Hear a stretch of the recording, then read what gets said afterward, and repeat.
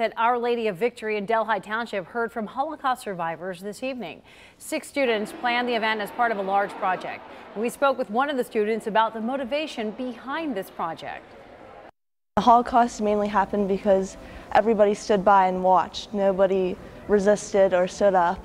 And so we wanted to do this so that we can spread the word and tell everybody if this were to happen again that they could stand up. Two Holocaust survivors spoke at tonight's event.